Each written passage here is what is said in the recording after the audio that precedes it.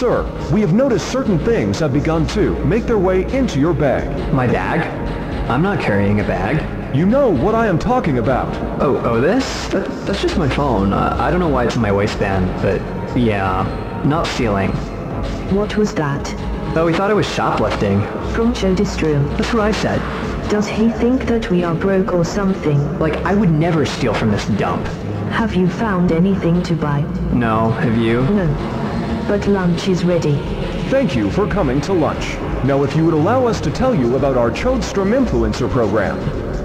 Maybe you should join their influencer program. Get free clothes. Nah, I bet it's multi-level marketing.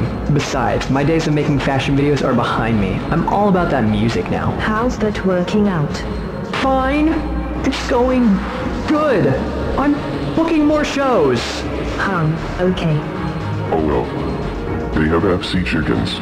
Honestly, if my foot chicken ain't dry as hell, I don't want it. No seriously, if it does not turn into literal sawdust in my mouth, I do not want it. Swofford, does Roger want you to bring him FC chicken? I think so, but he's still at Underground Pottery.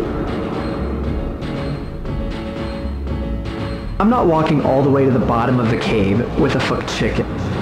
Oh my god, it's bone dry. This is just perfect. Time for the gym. Yep.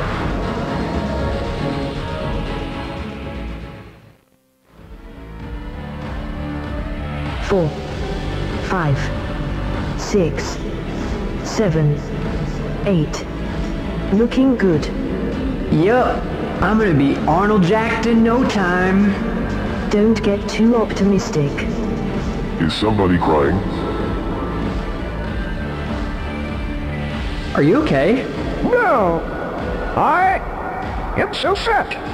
Well, that's what Fitness Planet is for. Monetizing your insecurities while abstracting all of the joy out of the natural human pleasure of exercise. Wait a second, you're not fat. You just have a super big rib cage. Really? Yeah, you're skinny with a deep as hell rib cage. It just makes your shirt stick out. You're not just saying that. No, I'm not just saying that. It's very, very true. Bluey and I could surgically switch your rib cages, so you could see what that's like. Yeah, let's try it. Okay. Wait, you guys actually did it? Yup. That is crazy impressive. Stand up. Try him out. Wow. This is crazy.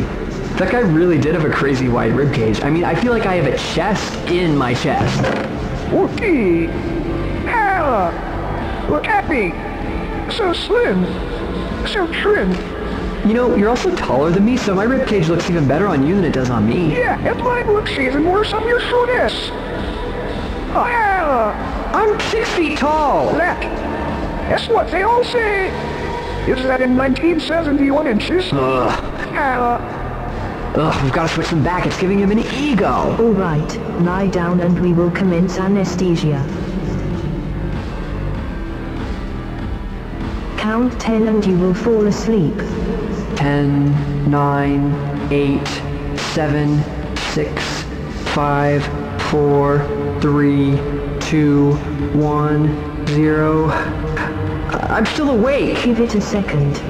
Okay, I just don't want to be awake while you, you know, remove my rib cage. Listen, just try to fall asleep. If you don't go through with this operation, you will regret it for the rest of your life. You will be stuck with that jumbo rib cage. ah. Quiet, you. Alright.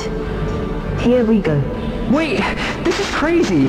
You guys are doing major surgery in a fitness planet. Staff is fine with it. We didn't even get any blood on the equipment last time. Fine, fine, whatever. Just give me my petite, skinny ribs back. Since you're not responding to the aerosol, we will switch to intravenous. Soon you should start to hear a bass line. Okay.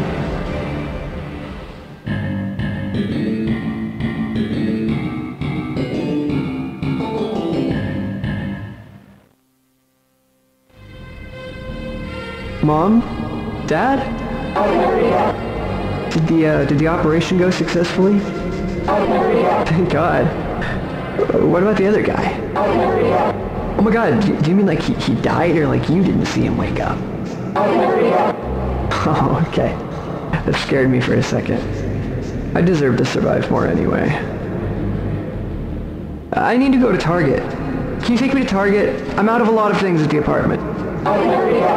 What? What? No, I need to go to Target. I'll, I'll drive myself if I have to, but I don't, I bet you don't want me to do that. I've just been under anesthesia for like 12 hours. good, good. Hey, hey I, I hear the Minecraft music now, but I don't really know what to believe.